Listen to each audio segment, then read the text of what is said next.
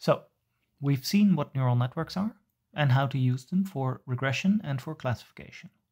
But the real power of neural networks is not in doing classical machine learning tasks. Rather, it's in their flexibility to grow beyond that. The idea is that neural networks can be set up in a wild variety of different configurations to solve all sorts of different tasks. To give you a hint of that, we'll finish up by looking at a simple example the autoencoder. Here's what it looks like it's a particular type of neural network shaped like an hourglass.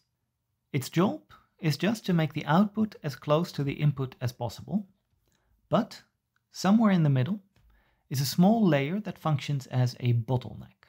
We can set it up however we like with one or many fully connected layers. The only requirements are that 1. One of the layers forms a bottleneck, that is, it has fewer nodes than the input and the output layer, and 2. That the input layer is exactly the same size as the output layer. The idea is that we simply train the neural network to reconstruct the input.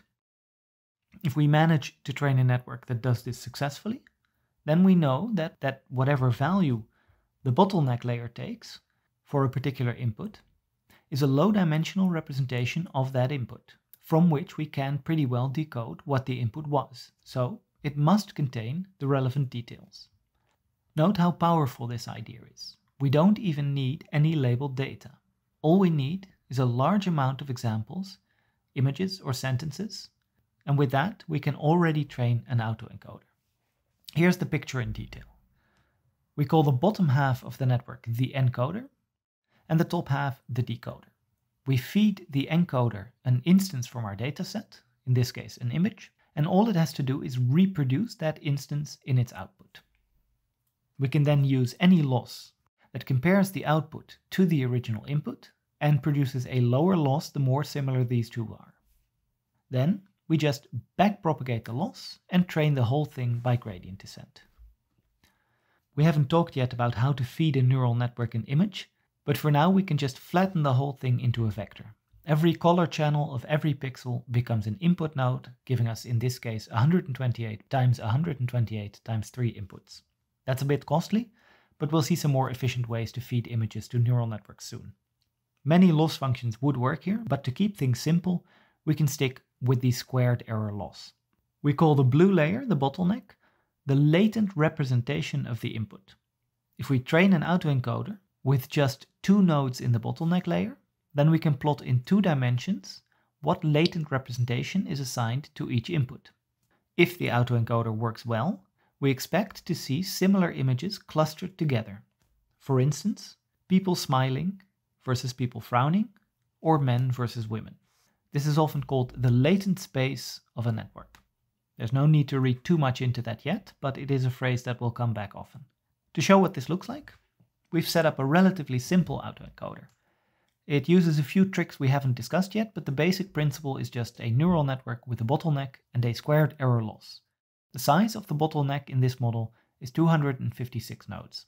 We train this on a low resolution version of what is called the FFHQ dataset, a dataset of 70,000 images of faces, each with resolution 128 by 128. Here are the reconstructions after 5 full passes over the data, 5 epochs, after 25 epochs, after 100 epochs, and finally after 300 epochs. At this point, the autoencoder has pretty much converged and the loss won't drop any further. You can see here the reconstructions next to the original data. The reconstructions are a little bit fuzzier, but you can clearly see that a lot of the information in the original image has been retained. Considering that each of these has been reduced to just 256 numbers and then reconstructed, it's not too bad of a result. So, now that we have an autoencoder, what can we do with it? We already know that we can use it for dimensionality reduction, but another thing we can do is interpolation. If we take two points in the latent space and draw a line between them, then we can pick evenly spaced points on that line and send all of them through the decoder, even though only the start and the end point of the line correspond to actual things that we've seen in the data.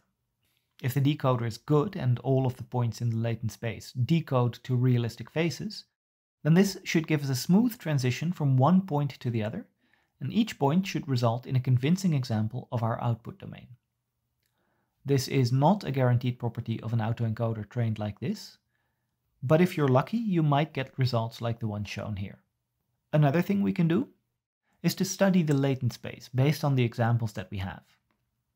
For instance, we can see whether smiling and non-smiling people end up in distinct parts of the latent space. We just label a small amount of instances as smiling and non-smiling, in this case just 20 of each. And if we're lucky, when we map these to the latent space by feeding them to the encoder, they form distinct clusters. If we compute the means of these clusters, we can draw a vector between them. We can think of this as a smiling vector.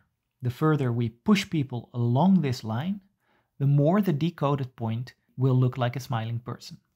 This is one big benefit of autoencoders. We can train them on unlabeled data, which is cheap, and then use only a very small number of labeled examples to annotate the latent space. In other words, autoencoders are a great way to do semi-supervised learning. Once we've worked out what the smiling vector is, we can then manipulate photographs to make people smile. We just encode their picture to the latent space. We add the smiling vector times a small scalar to control the effect. And then we decode the manipulated latent representation if the autoencoder understands smiling well enough, the result will be the same picture, but manipulated so that the person will smile. In the middle, we have the decoding of the original data, and to the right, we see what happens if we add an increasingly large multiple of the smiling vector. To the left, we subtract the vector, which makes the person frown or increases the extent to which they frown. With a bit more powerful model and a little face detection, we can see what some famously moody celebrities might look like if they smiled. So, what we get out of an autoencoder depends on which part of the model we focus on. If we keep both the encoder and the decoder, then we get a network that can help us manipulate data in this way. We map data to the latent space, tweak it there, and then map it back out of the latent space with the decoder. If we keep just the encoder, we get a powerful dimensionality reduction method. We can use latent space representations as the feature for another model that does not scale well to a high number of features. One final thing we can do is we can throw away the encoder and keep only the decoder. In that case, the result is a generator network, a network that can generate fictional examples of the sort of thing we have in our dataset. In our case, pictures of people who don't exist. Here's how that works. The encoder will map the data to a point cloud in our latent space. We don't know what this point cloud will look like, but we'll make an educated guess that a multivariate normal distribution will make a reasonable fit. We then fit such a distribution to our data in the latent space. And if it does fit well, then the regions of our latent space that, that get high probability density are also the regions that are likely to decode to realistic looking instances of our data. With that, we can sample a point from this normal distribution, feed it through the decoder, and get a new data point that looks like it could have come from our data. This is a bit like the interpolation example. There we assumed that the points directly in between two latent representations should decode to realistic examples. Here we assume that all the points that are anywhere near points in our data, as captured by this normal distribution, decode to realistic examples. This is the point cloud of the latent representations of our example, in light blue. We plot the first two dimensions of the 256 dimensions of our latent space. To these points, we fit a multivariate normal distribution in 256 dimensions, and we sample 400 new points, shown here in red. In short, we sample points in the latent space that do not correspond to the data, but that are sufficiently near the data that we can expect the decoder to give us something realistic. If we take these red points and we feed them to the decoder, this is the result. They don't look as good as the reconstructions, but it's clear that we are looking at approximations of human faces. This has given us a generator, but we have little control over what the cloud of representations looks like. We just have to hope that it looks enough like a normal distribution that our normal distribution makes a good fit. We've also seen that this interpolation works well, but it's not something we've specifically trained the network to do. In short, the autoencoder is nice, but it's not a very principled way of getting a generator network. You may ask if there is a way to train a generator from first principles, perhaps starting with the maximum likelihood objective. The answer to all of these questions is the variational autoencoder, which we will discuss in a few weeks. For now, let's recap and end the lecture here. We've seen what neural networks are and how they are trained. We've seen what a loss function is and how they are derived from first principles. And we've seen our first example of a complex architecture, the autoencoder. In the next lecture, we will focus on the missing ingredient in our training algorithm. Given a neural network, and the loss function, how do we work out its gradient?